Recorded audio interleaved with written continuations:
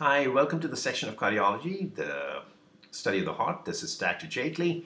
In this section, I'm going to be talking to you about what is a Holter monitor.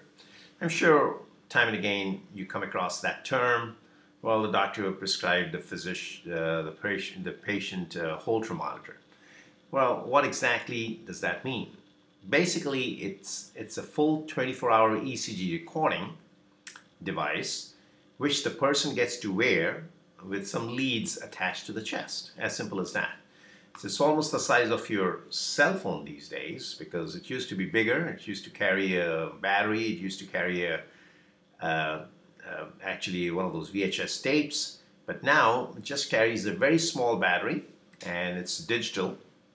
So it has its own 24-hour uh, way of recording ECG and it's a very small device, almost the size and the weight of your cell phone. So after wearing it, uh, one doesn't even know you know, or, or uh, remember where it is because it's only it's in your coat pocket or in your trouser pocket, or you can wear it around your neck with a with a small little um, uh, necklace. So, what does it tell us? It tells us that basically there are some heart rate irregularities that may develop during the day, during the course of the day while somebody is anxious, somebody is participating in sport activity, or maybe at work.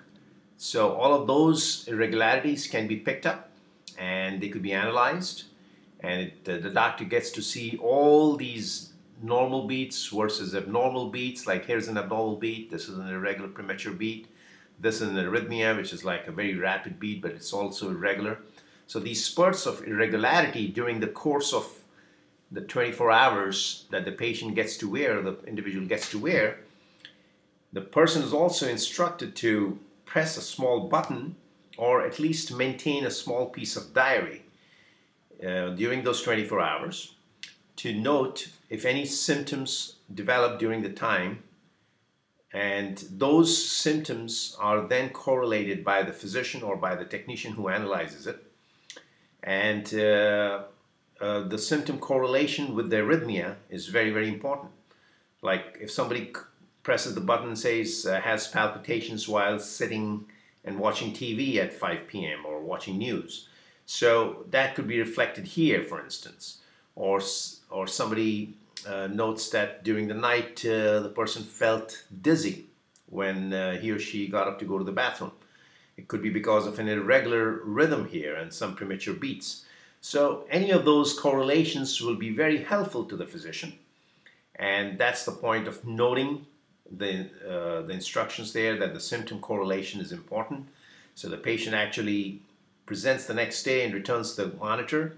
Also gives a small note to the patient, uh, to the physician, stating that, uh, look, these were the symptoms that I had, or I did not have any symptoms whatsoever, etc., etc. So those are very important for the physician or the technologist who is going to be analyzing this and then reporting it to the physician. So once once all of this is uh, tabulated, the number of beats, number of uh, abnormal beats, the kinds of arrhythmias, the kinds of fast arrhythmias, or the slow arrhythmias, there were any, like slowing of the heartbeat. If it's too far of slowing, were there any drop beats, etc., etc. So a lot of a lot of information can be achieved uh, during this Holter monitoring uh, device that's uh, placed on the person's chest. So uh, in a nutshell, it's a 24-hour uh, you know, ECG recording that the patient gets to carry, almost the size of a cell phone, and a whole dearth of information as far as rhythm disturbances or even irregularities are ascertained based on this test.